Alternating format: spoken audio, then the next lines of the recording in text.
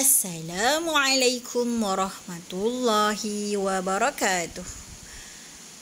Alhamdulillah insya-Allah pada hari ini kita akan sambung dengan mata pelajaran Kesultanan Islam Johor darjah 2.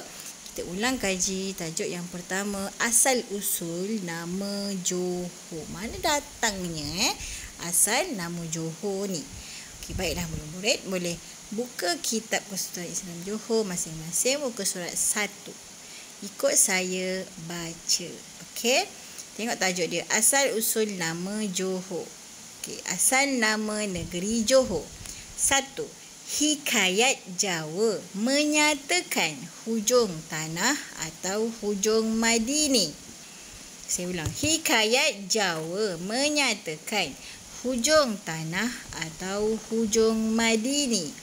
Okay, yang kedua, buku sejarah Melayu menyatakan Ganggayu atau Gangga Ayu disebut juga sebagai Galuh dalam bahasa Jawa.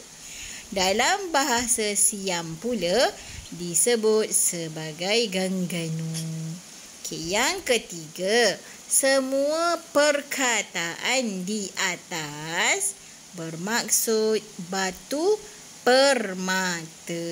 Okey, ini asalnya, asal nama negeri Johor untuk permulaan. Okey, tugas saya untuk mudah hari ini adalah senang sangat iaitu hanya perlu rakam audio eh murid membaca nombor 1 hingga nombor 3. Baca, rakamlah. Kemudian send personal pada saya. Okey, itu sahaja. Sekian. Assalamualaikum warahmatullahi wabarakatuh.